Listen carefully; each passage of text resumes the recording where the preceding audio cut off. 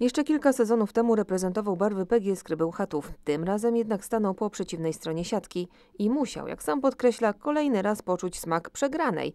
Jak sobotnie spotkanie ocenia Andrzej Wrona. Gospodarze byli zdecydowanie lepsi od nas w każdym, w każdym secie i, i praktycznie chyba tylko może w drugim secie gdzieś tam był taki moment, że podgoniliśmy skrę na, na jeden, dwa punkty, ale, ale tak to cały czas kontrolowali, e, kontrolowali to spotkanie.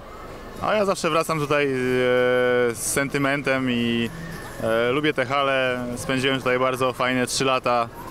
E, mam tutaj kilku, kilku kolegów, także zawsze miło się tutaj wraca.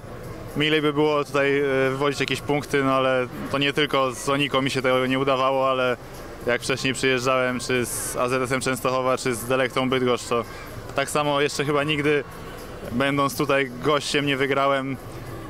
Myślałem, że może dzisiaj to się zmieni, niestety nie udało się.